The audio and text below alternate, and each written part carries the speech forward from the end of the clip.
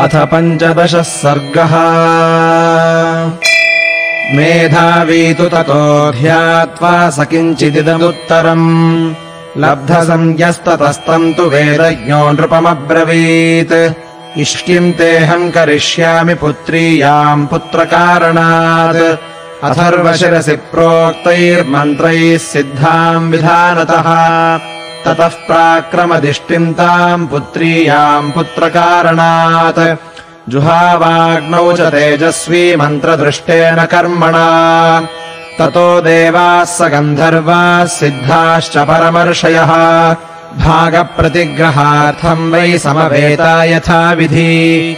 ताः समेत्य यथा न्यायम् तस्मिन् सदसि देवताः अब्रुवन् लोककर्तारम् ब्रह्माणम् वचनम् ततः। भगवंस्त्वत्प्रसादेन रावणो नाम राक्षसः। सर्वान्नो बाधते वीर्याच्छासितुम् तन्न शक्नुमः। त्वया तस्मै वरो दत्तः प्रीतेन भगवंस्तदा। मानयन्तश्च तम् नित्यम् सर्वम् तस्य क्षमामहे। उद्वेजयति लोकान् स्त्रीनुच्छ्रितान् द्वेष्टि दुर्मतिः शक्रम् त्रिदश राजानम् प्रदर्शयितुमिच्छति। ऋषीन् यक्षान् स गन्धर्वान् ब्राह्मणानसुरांस्तथा। अतिक्रामति दुर्धर्षो वरदानेन मोहितः। नैनम् सूर्यः प्रतपति पार्श्वे वाति न मारुतः। चलोर्मिमालीतम् दृष्ट्वा समुद्रोऽपि न कम्पते।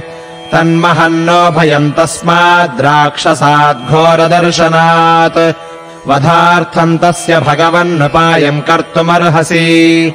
एवमुक्तः सुरैः सर्वैश्चिन्तयित्वा ततोऽब्रवीत् हन्तायम् विदितस्तस्य वधोपायो दुरात्मनः। तेन गन्धर्वयक्षाणाम् देवतानाम् च रक्षसाम्। अवध्योऽस्मीति वागुक्ता तथेत्युक्तम् च तन्मया नाकीर्तयदवज्ञानात् तद्रक्षो मानुषांस्तदा तस्मात् समानुषाद्वध्यो मृत्युर्नान्योऽस्य विद्यते। एतच्छ्रुत्वा प्रियम् वाक्यम् ब्रह्मणा समुदाहृतम्। देवा महर्षयः सर्वे प्रहृष्टास्ते भवंस्तदा। एतस्मिन्नन्तरे विष्णुरुपयातो महाद्युतिः शङ्खचक्रगदापाणिः पीतवासा जगत्पतिः। वैनतेयम् समारुह्य भास्करस्तो यदम् यथा। तप्तहाटककेयूरो वन्द्यमानः सुरोत्तमैः। ब्रह्मणा च समागत्य तत्र तस्थौ समाहितः। तमब्रुवन् सुराः सर्वे समभिष्टूय सन्नताः। त्वाम् नियोक्ष्यामहे विष्णो लोकानाम् हितकाम्यया राज्ञो दशरथस्य त्वमयोध्याधिपतेर्विभो धर्मज्ञस्य वदान्यस्य महर्षि समतेजसः। अस्य भार्यासु तिसृषुः श्रीकीर्त्युपमासु च। विष्णो पुत्रत्वमागच्छ कृत्वात्मानम् चतुर्विधम्। तत्र त्वम् मानुषो भूत्वा प्रवृद्धम् लोककण्टकम्। अवध्यम् दैवतैर्विष्णो समरे जहि रावणम् स हि देवान् स गन्धर्वान् सिद्धांश्च ऋषिसत्तमान् राक्षसो रावणो मूर्खो वीर्योद्रेकेण बाधते। ऋषयश्च ततस्तेन गन्धर्वाप्सरसस्तथा क्रीडन्तो नन्दनवने रौद्रेण विनिपातिताः। वधार्थम् वयमायातास्तस्य वै मुनिभिः सह। सिद्धगन्धर्वयक्षाश्च ततस्त्वाम् शरणम् गताः त्वम् गतिः परमादेव सर्वेषाम् नः परम् तप वधाय देव शत्रूणाम् नृणाम् लोके मनः कुरु। एवम् स्तुतस्तु देवेशो विष्णुस्त्रिदश पुङ्गवः पितामहपुरोगांस्तान् सर्वलोकनमस्कृतः। अब्रवीत्रिदशान् सर्वान् समेतान् धर्मसंहितान्। भयम् त्यजत भद्रम् वो हितार्थम् युधि रावणम् सपुत्रपौत्रम् सामात्यम् समन्त्रिज्ञातिबान्धवम्। हत्वा क्रूरम् दुराधर्षम् देवर्षीणाम् भयावहम्। दशवर्षसहस्राणि दशवर्षशतानि च। वत्स्यामि मानुषे लोके पालयन् पृथिवीमिमाम्। एवम् दत्त्वा वरम् देवो देवानाम् विष्णुरात्मवान्। मानुष्ये चिन्तयामास जन्मभूमिमथात्मनः ततः पद्मपलाशाक्षः कृत्वात्मानम् चतुर्विधम्। पितरम् रोचयामास तदा दशरथम् नृपम्। ततो देवर्षि गन्धर्वाः सरुद्राः साप्सरो गणाः स्तुतिभिर्दिव्यरूपाभिस्तुष्टुवर्मधुसूदनम्। तमुद्धतम् रावणमुग्रतेजसम् प्रवृद्धदर्पम् त्रिदशेश्वरद्विषम् विरावणम् साधु तपस्वि कण्टकम् तपस्विनामुद्धरतम् भयावहम्। तमेव हत्वा सबलम् सबान्धवम् विरावणम् रावणमुग्रपौरुषम्। स्वर्लोकमागच्छ गतज्वरश्चिरम् सुरेन्द्रगुप्तम् गतदोषकल्मषम्। इत्यार्षे श्रीमद् रामायणे वाल्मीकीये आदिकाव्ये बालकाण्डे पञ्चदशः सर्गः।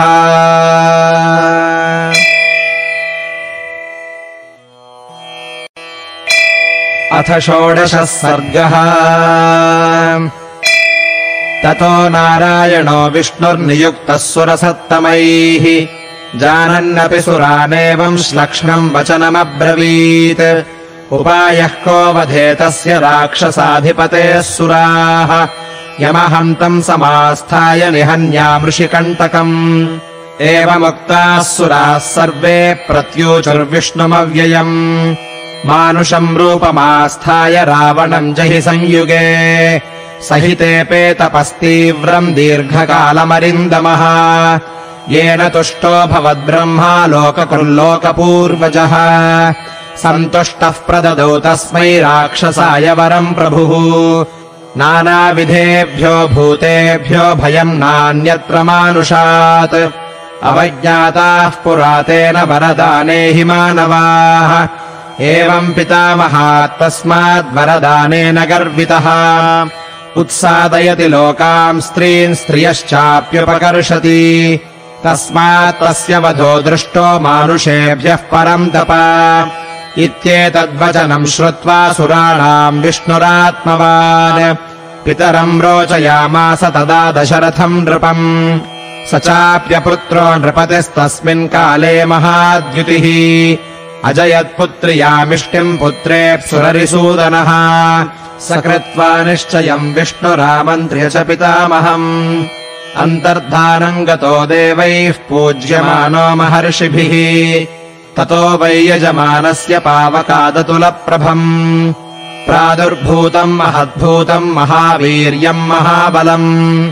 कृष्णम् रक्ताम्बरधरम् रक्तास्यन्दुन्दुभिः स्वनम्। स्निग्धहर्यक्षतनुजश्मश्रुप्रवरमूर्धजम्। शुभलक्षणसम्पन्नम् दिव्याभरणभूषितम्।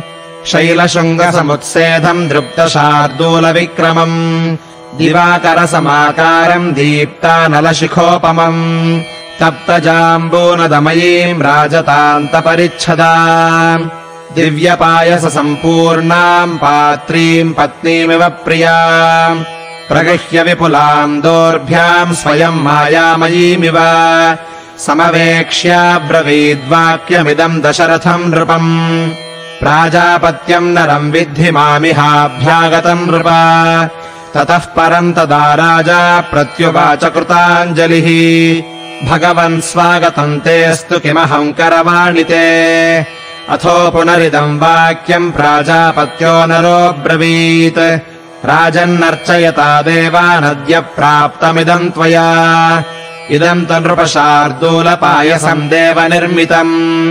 प्रजाकरम् गृहाणत्वम् धन्यमारोग्यवर्धनम् भार्याणामनुरूपाणामश्नीतेति प्रयच्छ वै।